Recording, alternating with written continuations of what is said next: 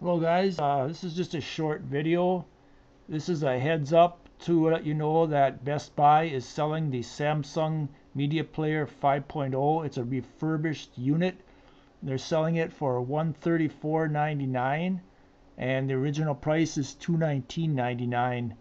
Um, what's nice about this unit is that uh, it has a slot in it where you can put a micro SD card and they say you can use up to a 32 gig card but I've actually successfully put a four or a excuse me a 64 gig card in this unit and I have been able to use it that way.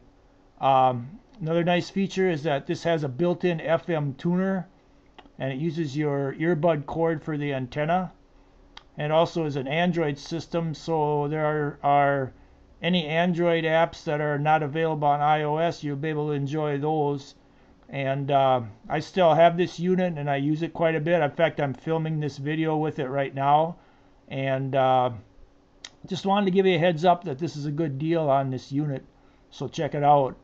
Uh, I believe it, it may be discontinued and that's why they're they have the refurbished units and some I think Amazon has them on sale also and uh, I don't know if this means that they'll be coming out with a new player or they're just getting out of this market but either way, it's a good deal on this unit, and I think it's a pretty nice unit. So uh, check it out if you're interested.